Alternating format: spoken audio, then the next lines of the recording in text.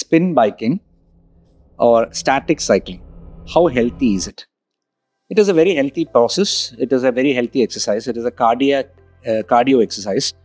There is a hidden uh, factor where uh, there is early ch- chances of arthritic changes in your knee.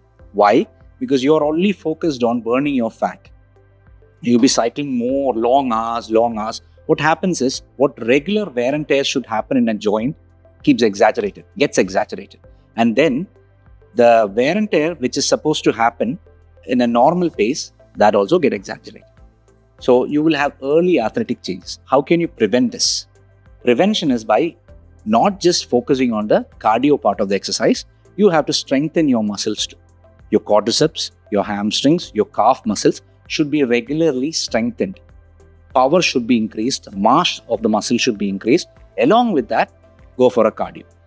Like I say, a marathon runner will focus only on the stamina to burn out his uh, calories. He'll run for long hours. But a sprinter, he focuses on his muscles. He strengthens his muscles for more power. If you can collaborate both, strengthening exercises along with that, cardio exercises, you will have a healthy knee, healthy body. Thank you.